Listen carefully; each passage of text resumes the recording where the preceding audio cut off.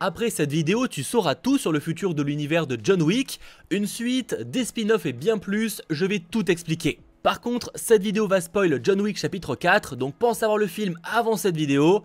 La prévention étant faite, le croque-mitaine n'attend pas, il faut qu'on en parle. La grosse révélation de fin de ce John Wick chapitre 4, c'est la possible mort de John Wick. En effet, même s'il arrive à tuer le marquis, il a été euh, touché juste avant par Kane, et le film se termine devant la pierre tombale de John Wick, à côté de celle de sa défunte épouse. En soi une belle fin, mais qui pourrait euh, surprendre puisque John Wick semblait invincible après 4 films. Personnellement, ce qui m'a le plus surpris, eh c'est qu'un John Wick 5 était pourtant prévu. En 2020, le PDG de Lionsgate, qui détient le droit du personnage, a déclaré que John Wick 4 et John Wick 5 allaient tourner dos à dos. C'est une pratique assez courante au cinéma pour certaines suites, histoire de réduire les coûts. Un exemple très connu, c'est Pirates des Caraïbes 2 et 3 qui ont tourné à la chaîne, ou encore récemment des films Avatar. Mais dans le cas de John Wick, le Covid est passé par là et les plans ont changé et n'ont finalement tourné que John Wick 4. Il n'empêche qu'il semblait évident que le cinquième opus était toujours dans les cartons, mais visiblement non. J'imagine que l'histoire prévue a été repensée pour ne faire qu'un film, on va y revenir. Cela pourrait expliquer euh, notamment pourquoi la première version de John Wick 4 durait apparemment 3h45 minutes, même si c'est important de préciser qu'il est tout à fait normal d'avoir des versions très longues d'un film avant sa sortie dans les salles. Dans tous les cas, on pourrait se demander pourquoi cette fin Déjà, le réalisateur a écarté euh, l'idée que ça pourrait être lié au physique de Kenny Reeves. Je cite, ce mec bouge plutôt bien pour ses 58 ans. Et sur ce point, on est carrément d'accord. Il a également euh, confirmé qu'ils ont abandonné euh, l'idée de tourner les films dos à dos, car cela donnait l'impression d'un film coupé en deux et que ce n'était vraiment pas ce qu'il voulait. Il voulait que ce soit Kenny Reeves, le réalisateur et les équipes de manière générale, qu'il y ait une vraie différence entre chaque film, que ce soit marqué. Et s'il tournait les deux films à la chaîne, ça n'aurait pas été le cas. Alors est-ce que ça veut dire qu'il n'y aura pas de cinquième volet à John Wick et que le personnage est vraiment mort? Bah c'est compliqué, pas totalement. En soi, tout est possible. En mars 2023, le réalisateur a déclaré, je cite, Dans notre esprit, Kenny Reeves et moi en avons fini pour l'instant. Nous allons laisser John Wick se reposer, je suis sûr que le studio a un plan, et si tout le monde aime ça et que ça devient fou, alors nous prendrons une minute tranquille.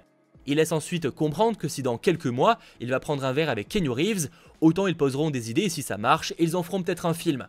Selon moi, il y a globalement deux hypothèses. La première, c'est que tout est prévu depuis le début et qu'ils ne confirment rien, histoire de laisser un petit peu de mystère. Et autant dans quelques semaines, ils confirmeront un cinquième opus pour dans pas longtemps. Autre hypothèse, il n'est effectivement pas prévu euh, pour l'instant de faire une suite, et ils ont euh, volontairement évité de montrer le corps mort du personnage, histoire de se laisser une porte de sortie en cas euh, d'envie plus tard de développer une suite. Et personnellement, même si j'ai vraiment du mal à croire que le personnage soit mort, j'opterais plutôt pour cette idée. Faut aussi comprendre que le réalisateur Chad Stahelski a signé pour de nombreux projets, même beaucoup de projets, c'est carrément un même, comme un film Highlander, Ghost of Tsushima qui a beaucoup de potentiel, un Rainbow Six, etc. etc. Donc à moins de laisser la réalisation à une autre personne, une suite pourra prendre du temps à arriver. Il a tout de même confirmé qu'ils avaient hésité entre deux possibles fins, mais que celle gardée et celle dont les retours ont été euh, les meilleurs lors des projections test. Ça ne veut pas forcément dire qu'il y avait une scène où le personnage était encore en vie, mais qu'elle était peut-être plus what the fuck. Je cite, il y avait une façon euh, différente de faire la scène des funérailles, et nous voulions que ce soit un peu plus mystérieux. C'est pourquoi vous voyez le chiot lever les yeux à la fin. Dans tous les cas, il voulait que contrairement au précédent opus, le film ait une vraie fin. Et en soi, laisser un peu de temps à John Wick pour revenir si ça doit arriver encore plus fort plus tard, ce n'est peut-être pas une mauvaise idée. Même si à nouveau, j'étais clairement pas prêt pour ça. Le réalisateur à nouveau a confirmé que les trois premiers opus se déroulent sur environ une semaine à une semaine et demie, et que cette fois le chapitre 4 commence 6 à 8 mois après environ le troisième volet. Ce qui veut dire que pour l'instant, tout l'univers s'est déroulé sur un an. Ce ne serait pas bien problématique d'imaginer le personnage se cacher euh, quelques années avant de revenir à nouveau bien prêt à se venger. Alors oui, sur le papier, c'est pas bien original et c'est carrément répétitif, mais bon, finalement, les scénarios de base de John Wick n'ont jamais été très compliqués. J'ai tout de même une bonne nouvelle, qu'il soit mort ou non dans ce final, on va revoir le personnage dans très peu de temps, et ça c'est cool. Je voulais un petit peu euh, teaser en introduction, mais le Wick Universe ne fait que commencer et plusieurs spin-offs sont déjà en préparation, dont un film titré Ballerina. Le tournage est déjà euh, terminé et ce 24 mars 2023, il n'est pas encore euh, confirmé s'il sortira au cinéma. On peut supposer que oui, mais rien de confirmé. Les films John Wick sont à chaque fois de gros succès au box-office et de plus en plus, donc il serait logique de le proposer dans les salles. Mais bon, un spin-off c'est toujours plus difficile à jauger s'il aurait réellement un succès, et donc si une plateforme mettait beaucoup d'argent sur la table, j'imagine que tout ça pourrait changer. Sur ce point, affaire à suivre et dès qu'on aura euh, du nouveau, et eh bien évidemment je vous en parlerai, d'où l'intérêt de s'abonner à la chaîne pour ne rien manquer en termes d'actu. Dans tous les cas, même si aucune date de sortie n'a été euh, communiquée pour l'instant, on peut s'attendre à le voir soit en 2024, ou alors 2023 en soi ça serait pas impossible, mais ça me paraîtrait personnellement un petit peu précoce. Au niveau des informations, et c'est un point qui m'hype plutôt pas mal, on sait que l'actrice Anna Dermas, vue dans James Bond, À couteau tiré, ou encore Blonde sur Netflix, incarnera Rooney, une jeune femme assassin qui cherche à se venger de ceux qui ont tué sa famille.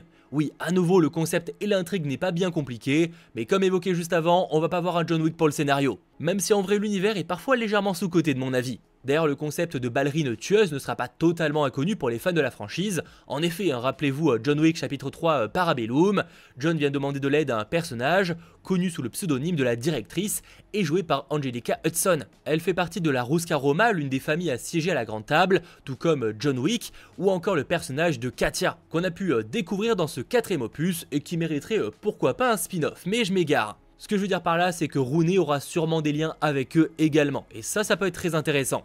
Le scénariste du film a confirmé que Ballerina permettra d'en savoir un peu plus sur les origines de John, car Rooney aura finalement euh, suivi les mêmes épreuves que lui. Donc même si on n'aura sûrement jamais d'origine story au personnage de John Wick, ce film Ballerina pourra laisser quelques indices sur ce que ça aurait pu raconter.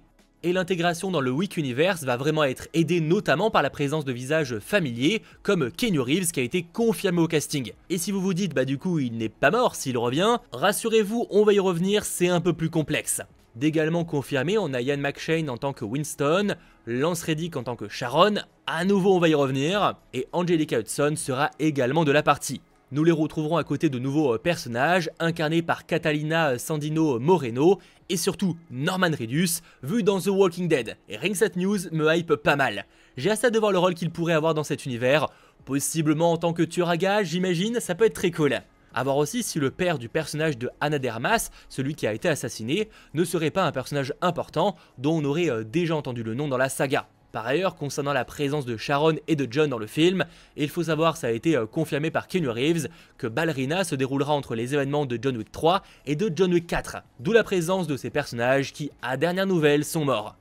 Comme expliqué euh, plus tôt, plusieurs mois séparent les deux opus, laissant place à d'autres récits. Même si précision importante, le co-scénariste Shay Aten a précisé qu'une partie euh, du film devrait se dérouler dans les Alpes suisses. Alors je ne sais pas si c'est encore prévu, on sait juste qu'ils ont tourné à Prague, mais c'est vraiment pour souligner que Ballerina présentera encore de nouveaux décors. En plus, je l'imagine, d'anciens, possiblement New York. Pour ce qui est des coulisses, alors que Chad Stahelski s'est occupé de réaliser toute la saga John Wick pour l'instant, cette fois c'est Len Wiseman, à qui l'on doit les deux premiers films Underworld, qui s'est chargé de le réaliser, avec un scénario donc de Chai Aten, qui s'est euh, déjà occupé de coécrire John Wick 3 et John Wick 4. Anecdote, le film Ballerina a été à l'origine écrit comme un film totalement autonome. Cependant, en 2007, Lionsgate a récupéré les droits du projet et ils ont poussé à le retravailler pour qu'il s'intègre dans l'univers de John Wick. Ballerina, arrive bientôt et on a donc très hâte, mais ce n'est pas le dernier projet déjà en préparation dans le Wick Universe. Le second se prépare à nouveau depuis euh, des années et prend clairement du temps à arriver. C'est une série euh, préquelle à John Wick centrée sur le Continental, l'hôtel censé être un lieu sûr pour les assassins. Cette mini-série sera diffusée sur Peacock aux US, la plateforme de streaming de NBC Universal, et à l'international et donc en France, le show devrait être proposé sur Prime. L'idée c'est de raconter euh, l'histoire de l'hôtel du point de vue de son directeur Winston, sauf que cette fois il sera incarné par Colin Woodell, en effet, la série prend la place dans les années 70, euh, des décennies avant la saga John Wick, et sera découpée en trois gros épisodes événements. Ce sera donc une série euh, limitée qui n'aura normalement pas pour but d'avoir de seconde saison. Concernant le casting, alors désolé de la prononciation, mais on aura Ayomid Adegun qui incarnera un jeune Sharon, Mel Gibson qui sera un certain euh, Cormac, Ben Robson dans le rôle de Frankie, Hubert Point du Jour dans le rôle de Miles, et Jessica Alain en tant que Lou, pour ne citer vraiment que. Ça peut être honnêtement très sympathique et ça va surtout montrer le lien tout particulier qu'ont euh, Sharon et Winston avec l'hôtel. Le tournage a commencé euh, fin 2022, ce qui voudrait dire que pourquoi pas, ça pourrait sortir soit fin 2023, soit en 2024, mais à nouveau, ça arrive très bientôt. Ça, ce sont vraiment les spin-offs qui sont déjà en préparation, mais le Week Universe ne manque pas de possibilités, que ce soit le personnage de Holly Berry dans le troisième opus, ou encore euh, Katia qu'on a pu découvrir dans ce quatrième volet, sans oublier Kane ou même Akira. D'ailleurs, pour ceux qui l'auraient manqué, mais John Wick 4 a une scène post-crédit. Oui, une scène post-crédit à la toute fin du film. Alors rassurez-vous, rien de fou, mais on y voit Kane devant euh, l'Opéra de Paris et sur le point d'emmener des fleurs à sa fille. Mais là, dans la foule arrive Kara, armée euh, d'un couteau et sur le point de se venger. Et là, ça coupe avant de savoir si elle a réussi ou non à le tuer. Je ne sais pas vraiment si c'est là pour teaser quelque chose, mais c'était une scène post-crédit plutôt sympathique malgré tout. Et même en dehors de séries ou films, John Wick arrive aussi en jeu vidéo. Il existe en effet euh, deux petits jeux euh, John Wick qui sont déjà sortis, notamment euh, Chronicles, un jeu VR sorti en 2017, ou encore John Wick X sorti en 2020. Mais la productrice du film Erika Lee a confirmé qu'un autre jeu vidéo est en préparation et que du nouveau sera dévoilé très bientôt. Apparemment, selon ses dires, il ne faudra pas attendre des années pour y jouer. Je suppose personnellement que ce ne sera pas un jeu AAA énorme, mais ça reste à surveiller. Autant vous dire que si vous êtes fan de l'univers comme moi, on va avoir de quoi s'occuper dans les prochaines années. Et si cette vidéo vous a plu, pensez à lâcher un petit pouce vers le haut, à vous abonner, et on se retrouve très vite.